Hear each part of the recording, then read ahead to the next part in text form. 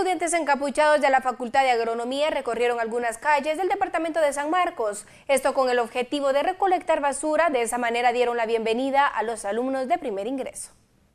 Estudiantes de la carrera de agronomía del Centro Universitario de Occidente en San Marcos, con la finalidad de conservar el medio ambiente, realizan actividad en relación a botaderos de basura clandestinos en la cabecera, donde los antiguos le dan la bienvenida a los nuevos de dicha carrera como acto social y no de bautizo. Así recolectan basura en calles y avenidas, principalmente en tiraderos de los mismos en lugares no permitidos. ¿Por qué se piensa en ella y la importancia que se tiene en la misma? Muchos humanos no tienen conciencia, hacen botaderos donde quiera, entonces nosotros como nuestra carrera está orientada a, la protección del medio ambiente, entonces decidimos realizar esta porque sí era necesaria ya en, en, estas áreas.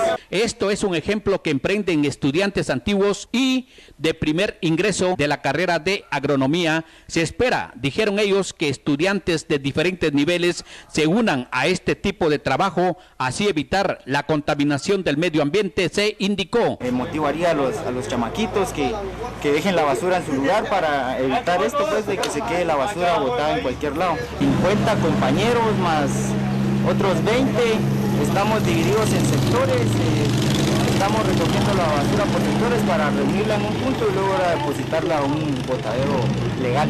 Desde San Marcos, reportó Joel Navarro.